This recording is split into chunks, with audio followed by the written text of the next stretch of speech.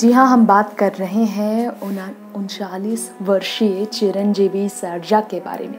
कन्नड़ फ़िल्मों में बड़ी पहचान बनाने के बाद अपनी निजी ज़िंदगी में आगे बढ़कर एक्ट्रेस मेघना का साथ पाने के बाद शादी रचाकर साल 2018 में अपनी ज़िंदगी में आगे बढ़ते हुए फैमिली प्लानिंग करते हुए, परिवार को आगे बढ़ाने के लिए खुशी काफ़ी इनके चेहरे पर थी। लेकिन कहाँ उन्हें मालूम था कि ज़िंदगी से ऐसे साथ छोड़ना पड़ेगा चिरंजीवी को कि पिता बनने से पहले, अपनी पहली संतान का चेहरा देखने से पहले, पहली संतान को गोद में उठाने से पहले, पिता बनने का, सुख पाने से पहले ही वो अपनी पत्नी का साथ छोड़ देंगे।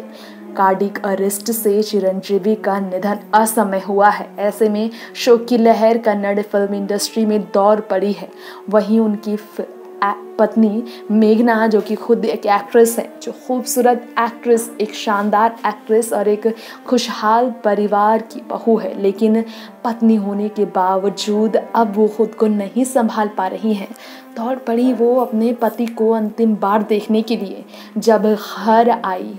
पति की आखिरी झलक देखने के लिए, उनकी अंतिम यात्रा में शामिल होने के लिए परिवार के सभी भाई बहन वहाँ पर सबसे दुखी मेघना ही नज़र आई थी।